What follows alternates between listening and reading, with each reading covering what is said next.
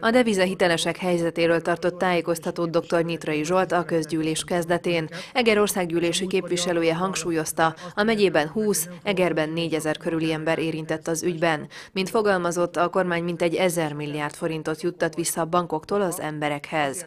A folytatásban a 100 éve született Illés György tiszteletére kírt kisfilmpályázat nyertes alkotását együtt nézték meg a képviselők. Várdai Gábor filmje bizonyult a legjobbnak. A napirendek tárgyalása előtt szintén ünnepi mozzanatként az Egerváros ösztöndíjas a pályázat nyerteseit is köszöntötték. A város által először 15 éve kírt ösztöndíjat ezúttal 9 középiskolás érdemelte ki, akiket Habis László polgármester köszöntött.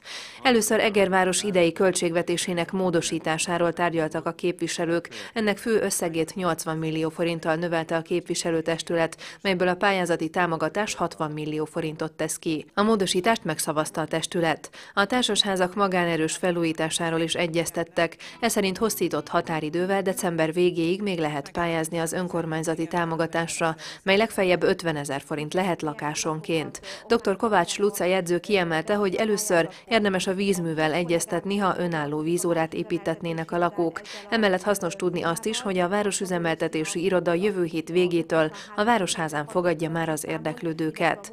A város alapokmányát is módosították a közgyűlésen. Új nevet kapott öt bizottság, így ezentúl a Városi Szociális és Családügyi Bizottság, a Város Imás Bizottság, a Városi Pénzügyi és Ügyrendi Bizottság, a Városképi és Környezetvédelmi Bizottság, valamint a Város Gazdálkodási Bizottság működik a továbbiakban. Ezen túl elfogadták az EVAD ZRT üzleti tervének első háromnegyedéves beszámolóját, valamint módosították a polgármesteri hivatal alapító okiratát. Utóbbi az egyes irodák visszaköltözéséről döntött. Arról, hogy melyik iroda mikor költözik, a város internetes oldalán lehet tájékozódni. Szó esett továbbá a kis zsinagóga használatára vonatkozó szerződés megszüntetéséről, ugyanis a Part Egri Kulturális Ifjúsági és Környezetvédelmi Egyesület jelezte, hogy nem kívánja tovább használni az ingatlant. Az épület hasznosításáról később születik döntés.